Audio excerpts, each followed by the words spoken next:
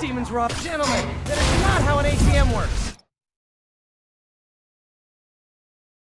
That's not even an ATM!